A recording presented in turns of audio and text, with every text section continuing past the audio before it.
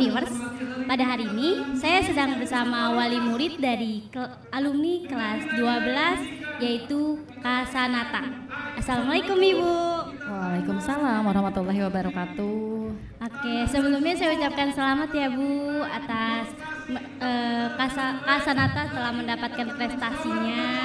Sama-sama terima kasih juga ya. Oke, oh iya Bu, Eh, tadi saya mohon maaf ya Bu soalnya tadi nggak bisa bareng-bareng karena boothnya tidak cukup. Oke.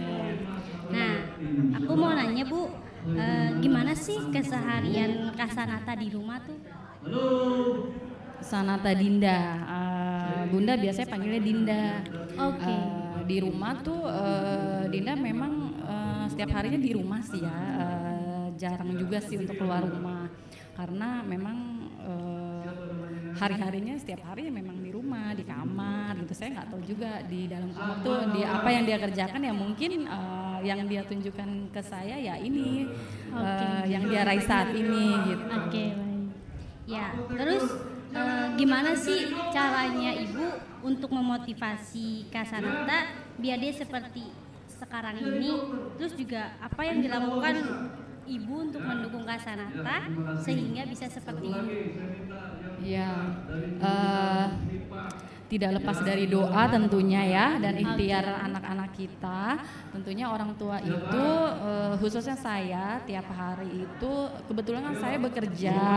Jadi untuk eh, memonitor anak di rumah itu itu setiap hari saya monitor dari mulai pagi saya berangkat kerja.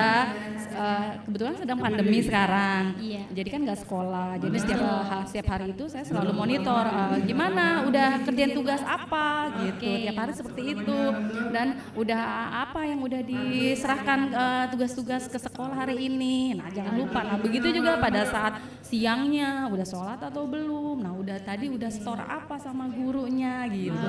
Sore pun begitu sama sampai saya pulang bekerja. Itu aja sih sebenarnya. Bu.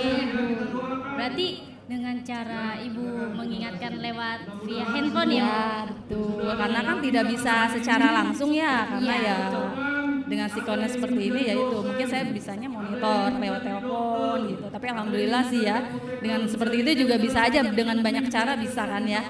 Nah, kan eh, Kasanata itu di rumah, sedangkan Ibu kerja. Nah, kira-kira di rumah itu eh, Kasanata bersama siapa? Bersama adiknya. Oke.